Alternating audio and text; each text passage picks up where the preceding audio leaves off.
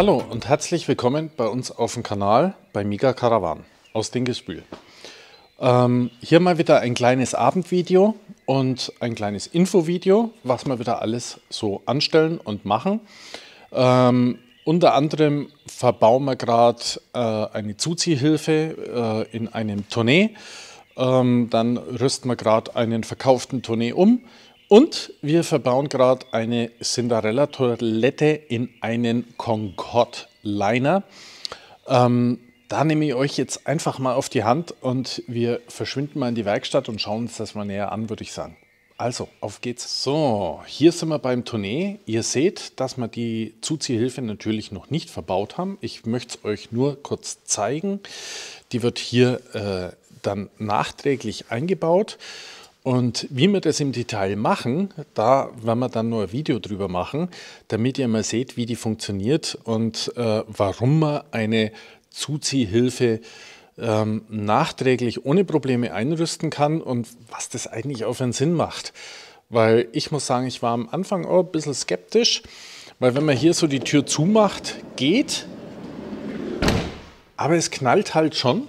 Und wenn man nachts auf den Campingplatz geht und dann reicht es wirklich, wenn man die nur hier zack so anlegt und dann wird die schon richtig zugezogen. Aber wie gesagt, da zeige ich euch dann Näheres, wenn es soweit ist und äh, wenn wir die gar einbauen. Und hier in dem Tournee haben wir dann nur ein schönes Soundsystem verbaut. Äh, aber das kennt ihr ja, das habe ich euch ja schon mal gezeigt, wie wir das machen. Ähm, und ja, da kommen wir dann noch näher drauf, wenn das Auto in der Vollendung ist. Da komme ich dann nochmal zurück auf das Thema. Ja, hier sind wir bei unserem Tournee 640. Der wird jetzt gerade fertig gemacht und umgerüstet äh, für unseren Kunden. Das heißt, der kriegt äh, 200 Ampere-Stunden Lithium und der kriegt nur etliches andere verbaut. Da sind wir gerade mächtig dran ähm, und äh, bereiten das Fahrzeug eben vor damit man dann äh, den Kunden das sauber und ordentlich übergeben kann.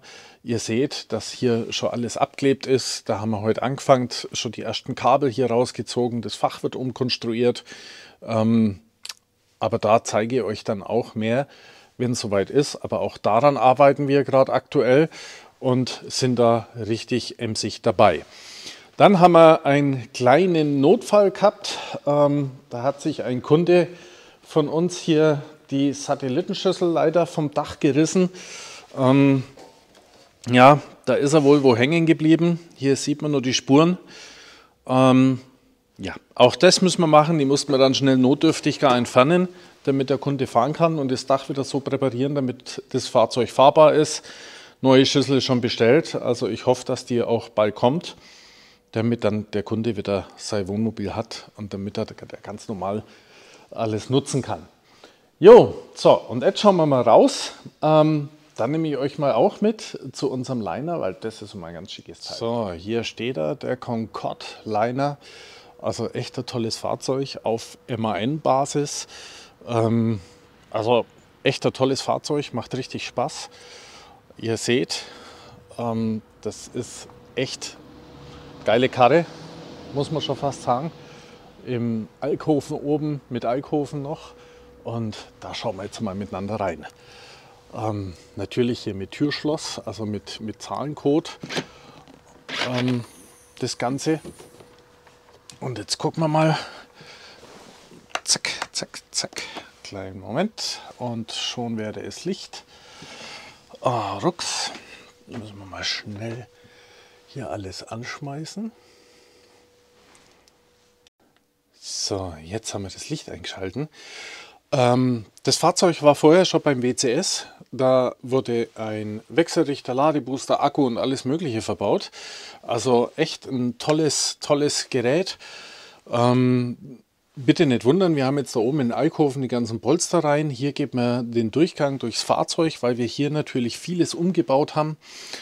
Ähm, hier hat der Kunde zusätzlich Steckdosen bekommen. Hier hat der Kunde zusätzlich Steckdosen bekommen. Dann haben wir ähm, hier außen hatte die auch schon, jawohl, hier haben wir auch zusätzlich eine Steckdose verbaut. Hier, wo mein Finger ist, sieht man jetzt ein wenig schlecht. Hier im Fahrerhaus ist natürlich dunkel. Ähm, dann haben wir hinten noch zusätzlich Steckdosen verbaut. Und darum haben wir hier auch fein säuberlich alles abgedeckt, den Tisch abgedeckt, den Boden abgedeckt, damit hier wirklich nichts passiert. Das ist uns immer ganz, ganz wichtig. Ähm, da muss wirklich akribisch gearbeitet werden. Hier sehen wir die Küche. Da liegen natürlich noch Bretter rum, weil wir hier natürlich auch noch eine tada, Cinderella Verbrennungstoilette verbauen. Und ähm, ja, das ist natürlich immer Act. Da werde ich immer wieder gefragt, ja, warum ist das so teuer, ähm, der Einbau, warum kostet der so viel Geld? Ich kann es euch sagen.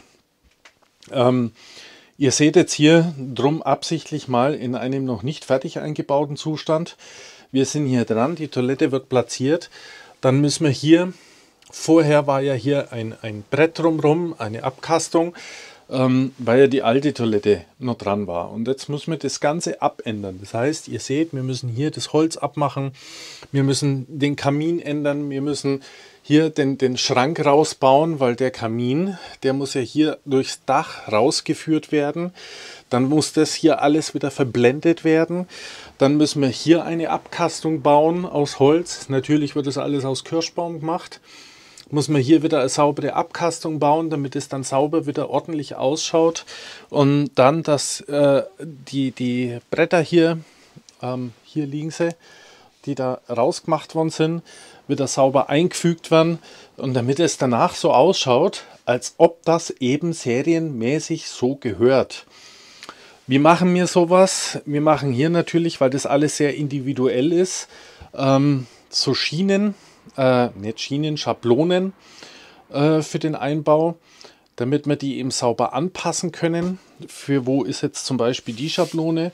Daraus richten wir dann unser richtiges Holz. Die kommen dann hier so ran. Natürlich hier hinter.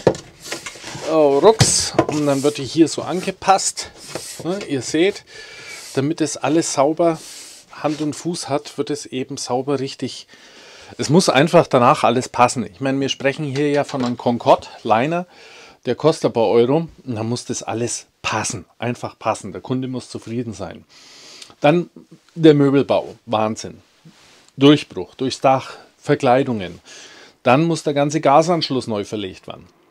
Also das heißt, hier in der Ecke haben wir ja kein Gas, also müssen wir jetzt von, äh, durch das halbe Wohnmobil neue Gasleitungen legen und, und, und. Und das dauert natürlich. Das sind Stunden und Stunden und Stunden.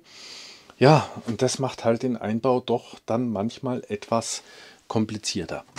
Ähm, aber es ist ein Traum, so eine Toilette zu haben, weil man nichts mehr entleeren muss. Man muss einfach keinen Fäkalientank mehr ausleeren. Äh, einfach, habe es euch ja schon mal gezeigt. Unten dann die Asche, die Restasche raus und die könnt ihr in die Prärie kippen dann ist das überhaupt kein Thema. Und dann funktioniert es. Also echt eine tolle Sache. Ja, da sind wir gerade dabei. Und dann haben wir, whoops, hier hinten nochmal Steckdosen verbaut. Da kommen noch welche dazu äh, beim Fernseh. Ja, und dann kommt hier oben, äh, das werden wir morgen gleich machen, wie das Wetter halt dann reinpasst, kommt hier oben dann noch der Max-Van rein. Da möchte er noch einen dazu haben, der Kunde und dann ist das Fahrzeug auch schon wieder fertig. Also echt ein schönes Fahrzeug. Klar, jetzt haben wir ein bisschen eine Baustelle darin, jetzt kann man das nicht ganz so erkennen. Aber letztlich ist es schon echt ein toller Umbau und so eine Verbrennungstoilette finde ich schon, ähm, ja, finde ich schon echt klasse. Also ich bin nach wie vor der absolute Fan davon. Ja, sie hat Vor- und Nachteile. Ähm, klar, wie alles äh, ist es auch individuell, wie natürlich die Person an sich das haben möchte, weil jeder Mensch auch individuell ist. Ähm, der eine mag mehr Trockentrenntoiletten, der andere sagt, ich möchte lieber die Glesana, äh, die jetzt dann neu auf den Markt kommt ab Januar. Ähm, wo ich auch sehr begeistert bin von der Toilette, die auch in mein Wohnmobil verbaut werden wird, weil ich die austesten möchte und ich bei mir in meinem Fahrzeug auch keine äh, Verbrennungstoilette reinbringe. Platztechnisch passt die nicht rein. Somit muss ich eine andere Wahl treffen. Und ich persönlich bin jetzt kein Freund von Trockentrenntoiletten. Aber wie gesagt, das sind Geschmacksrichtungen. Äh, das mag jeder anders handeln und mögen. Also das ist ja alles kein Muss. Und somit kann sich da natürlich für jeder für jeden Gebrauch, für jede Individualität der richtige, die richtige Toilette raussuchen. Die Funktion, die habe ich ja schon in mehreren Videos gezeigt. Zeigen wir natürlich auch hier wieder, wenn der Einbau fertig ist. Ich kann jetzt bloß nicht so hantieren, weil das jetzt alles noch im nicht verbauten Zustand ist. Ich wollte es euch nur mal zeigen, wie das eben hier ausschaut, was hier alles für Aufwand dahinter steckt, damit es alles ordentlich und sauber dementsprechend verbaut wird und damit es auch nach was ausschaut. Weil, äh, wie gesagt, ist ja ein Liner, aber abgesehen davon soll es natürlich auch in einem Nicht-Liner schön ausschauen. Ähm, aber es muss halt einfach sitzen und passen und äh, muss alles seine Ordnung haben. Und natürlich auch reklamationsfrei funktionieren. Jo, in dem Sinn wollte ich euch das einfach nur kurz mitteilen, was die Woche hier bei uns alles los ist. Und dann hole ich euch wieder dazu, wenn wir unser Ast Zusatzhilfe, äh, Zuziehhilfe verbauen. Da machen wir dann auf alle Fälle ein tolles Video, ähm, wie es da ausschaut. Und ja, dann schauen wir mal wieder, was äh, die Woche drauf so kommt. Ja, das war natürlich oder ist natürlich wieder eine tolle Sache so alleine mit der Verbrennungstoilette. Also ich finde es richtig cool. Ähm, ich freue mich auch schon, das Endprodukt euch zeigen zu können. Morgen werden wir den MaxVan eindoktern oder einbauen, damit wir da äh, dann weiterkommen. Und ja, ich freue mich echt riesig drauf, äh, das Projekt äh, dann weiterzumachen und schauen wir mal, wie dann die Verbrennungstoilette letztlich funktioniert. Ähm, Ast-Zuziehhilfe, wirklich ein ganz tolles Produkt. Ähm, da möchte ich dann auf alle Fälle äh, ein einzeln detaillierteres Video machen von den einzelnen Einbauschritten. Da nehme ich euch auf alle Fälle mit auf die Reise. Da freue ich mich auch schon richtig drauf, das zu zeigen, weil das ist bestimmt auch eine tolle, tolle Geschichte, vor allem wie die dann letztlich funktioniert. Habe mir in Düsseldorf genau angeschaut, also echt mega. Und gerade für so Vans mit den Riesentüren ein echt tolles Feature, finde ich ganz toll. Ja, in dem Sinn darf ich mich bei euch wieder bedanken. Ich wünsche euch einen wunderschönen Abend, bleibt gesund. Äh, trotz den sehr hohen Inzidenzen und dem ganzen Tulmulk, wie es jetzt hier wieder weitergeht, weiß letztlich noch keiner. Trauriges Spiel, aber ich hoffe, ihr kommt alle gut durch und äh, wirklich die Ohren steif halten, gesund bleiben, alles gut. Äh, der Winter ist auch zwar hat er noch nicht richtig angefangen, aber ich denke schon wieder positiv. Der wird auch bald wieder rumgehen und dann können wir wieder fleißig mit unseren Wohnmobile draußen rumkutschieren. Da freue ich mich schon wieder riesig drauf.